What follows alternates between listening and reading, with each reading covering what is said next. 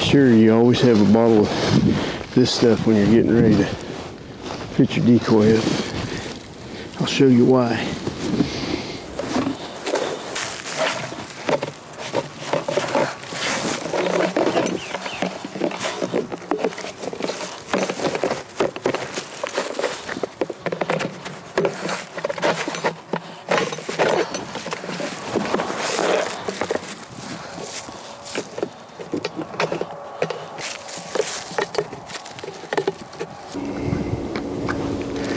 The big old buck will have to come by and investigate this. What I do is I take Scent Thief. It's a it's an awesome product. It's different from any other scent control device there is out there. Any anything on the market.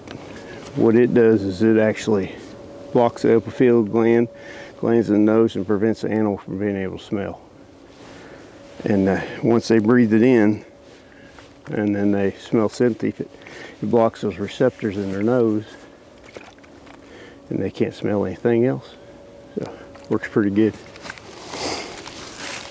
Uh, I spray mine from the head to the toe every time.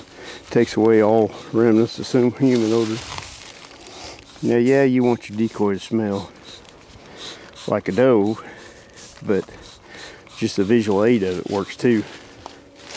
It's a bit hell of a lot better for them to not smell anything than it is for them to smell you on something that looks like a deer. It won't work too good. The one part I don't spray is that tail. That tail is where I will put my uh, doe and rut scent on there and that's the only thing. Now if the wind's right, if the it catches right, they might be able to smell it, might not. Probably waste my time and money putting it on there, but I just, that's what I do. You can do whatever you want. They probably don't smell it, but I know one thing. They won't smell my odor on that decoy. Let's see what it does for us. This is a procedure I follow every time I set this decoy.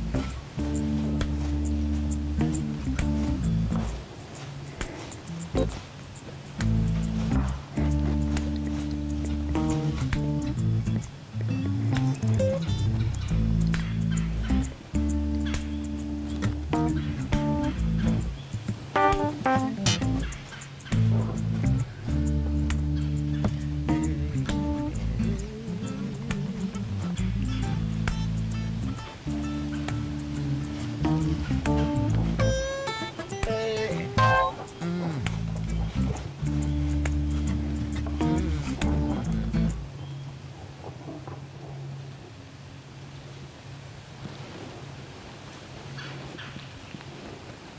boy's had enough. He's gonna leave.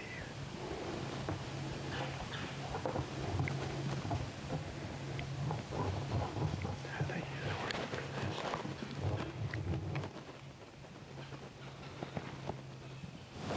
I don't think he hurt it too bad, but they aren't designed to have a buck mount 'em, but he did it. And if you noticed on that video, he got up and he sniffed around the head first, he sniffed the belly, went around, sniffed the tail. I had some, uh, well, I would have showed you, but I dropped it out of the, the stand. It's not something we're sponsored by, but it's a little powder puffer. It's, uh, it's supposed to be rut scent. I puffed some of that powder on that tail, and I sprayed it down. Scent thief. After I got it set up, and that buck, you can see he sniffed all around the head, the tail, everywhere. And uh, the bigger one of the two, which I don't think I'd have shot him, he, he's not coming, wouldn't come in, but he's still about 150 yards. I just seen him on the other side of the creek over there. So I don't want to talk too loud. Folks, this stuff is amazing. You know, we've said a, a hundred times it'll change the way you hunt. It actually does. You, I don't know if we can do it or not the wind's kind of swirling around, but right now it's blowing right towards that decoy. And uh, I've got wafer here, and I can smell it real strong when they were standing out there, so I'm pretty sure that it was blowing right towards.